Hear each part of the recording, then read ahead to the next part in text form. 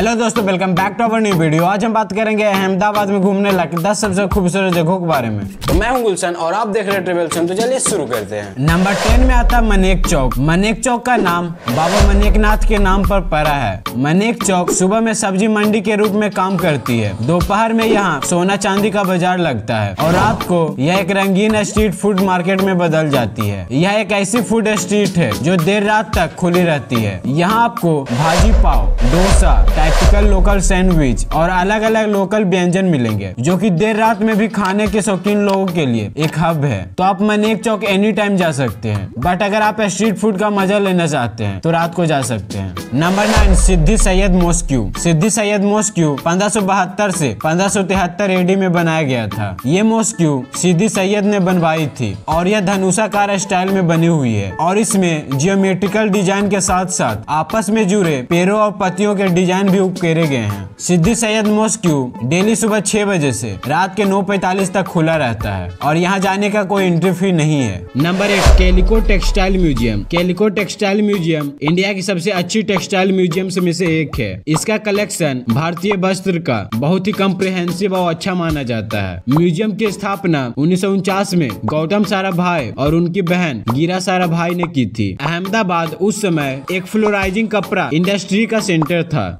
Museum में आपको पंद्रहवीं शताब्दी से लेकर बीसवीं शताब्दी तक के हाथ से निर्मित या औद्योगिक रूप से उत्पादित वस्त्र देखने को मिलेंगे। म्यूज़ियम में रेगुलर टूर्स भी कंडक्ट किए जाते हैं, जहाँ विजिटर्स को कपड़ों की हिस्ट्री और इम्पोर्टेंस के बारे में बताया जाता है। केलको टेक्सटाइल म्यूज़ियम संडे को छोड़कर सुबह साढ़े दस बजे से दोपहर के साढ़े बारह बजे तक और फिर दोपहर के तीन बजे से शाम के पाँच बजे तक खुला रहता है। Number seven, Jagannath temple Jagannath temple Ahmedabad के जमलपुर में स्थित है। और यह टेंपल हिंदू भगवान जगन्नाथ को समर्पित है। ये टेंपल अपने एनुअल रथ यात्रा के लिए फ़ेमस है, जो कि पूरी और कोलकाता के बाद इंडिया का तीसरा सबसे बड़ा रथ यात्रा फेस्टिवल माना जाता है। यात्रा अहमदाबाद के अलग अलग पार्ट से होकर गुजरती है और लगभग चौदह किलोमीटर की डिस्टेंस कवर करती है। टेंपल का इतिहास करीब साढ़े चार सौ साल पुराना है और यह एरिया पहले घना जंगल था, जो साबरमती रिवर के किनारे बसा था। जगन्नाथ टेंपल सुबह साढ़े चार बजे से, दोपहर के एक बजे तक और फिर दोपहर के तीन बजे से। रात के नौ बजे तक भक्तों के लिए खुले रहते हैं। नंबर सिक्स कमला नेहरू जू। कमला नेहरू जू, जो अहमदाबाद में कनकेरिया लेक के किनारे स्थित है। यह बहुत ही सुंदर और मनोरंजन से भरा हुआ चिड़ियाघर है। इसका नाम भारत के पहले प्राइम मिनिस्टर जवाहरलाल नेहरू के पत्नी कमला नेहरू के नाम पर रखा गया है। उन्नीस सौ इक्यावन में स्थापित यह जू लगभग 117 एकड़ में फैला हुआ है। जू का मुख्य उद्देश्य संकटग्रस्त प्रजातियों की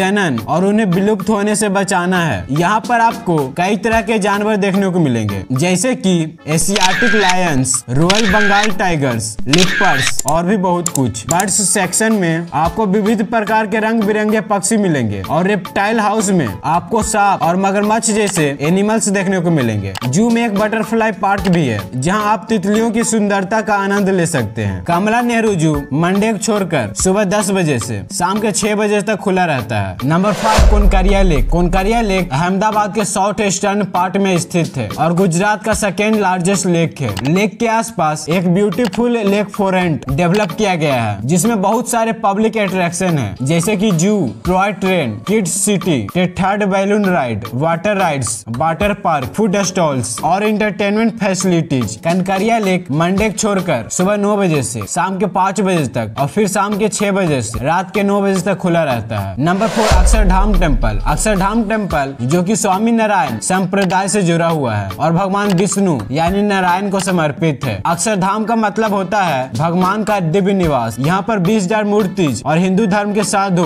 भक्तों और आचार्यों के स्टैचू है। ये राजस्थान से आए गुलाबी बलुआ पत्थर से बना है, जो बहुत ही यूनिक और अट्रैक्टिव है। अक्षरधाम टेंपल मंडे छोड़कर सुबह साढ़े नौ बजे से शाम के साढ़े सात बजे तक खुले होते हैं। Number three Adalaj step well. Adalaj step well एक प्राचीन और मनोहर स्टेप बेल है। इसका निर्माण चौदह में हुआ था और यह गुजरात के सबसे सुंदर और शानदार स्टेप बेल्स में से एक माना जाता है। इसकी खास बात यह है कि इसमें पाँच मंजिलें हैं और हर एक मंजिल पर आपको बेहतरीन नक्काशी देखने को मिलेगी। यह स्टेप बेल न सिर्फ़ पानी के एक स्रोत के रूप में काम करता था, बल्कि यह एक ऐसी जगह थी जहाँ लोग गर्मी से बचने के लिए आराम करते थे। Number two Bhadra fort Bhadra fort एक प्राचीन दुर्ग है, जो अहमद शाह द्वारा 1411 में बनाया गया था। इस फोर्ट का नाम भद्रकाली टेंपल के नाम पर पड़ा है। इस फोर्ट की खास बात यह है कि यहाँ की रॉयल प्लेसेस, मोस्क्यू, गेट्स बहुत ही सुंदर तरह से तराशे गए हैं। ब्रिटिश शासन के दौरान भद्र फोर्ट को जेल में बदल दिया गया था। ब्रिटिश ने इस फोर्ट के स्ट्रेटेजिक इम्पोर्टेंट को पहचाना और इसे अपने एडमिनिस्ट्रेटिव और कंट्रोल नीड्स के लिए यूज़ किया। और नंबर वन में आता है साबरमती आश्रम। साबरमती आश्रम भारत के स्वतंत्रता संग्राम के महत्वपूर्ण केंद्र में से एक है। इस आश्रम का निर्माण महात्मा गांधी ने किया था और यह उनके विचारों और आदर्शों का प्रतीक है। आश्रम की स्थापना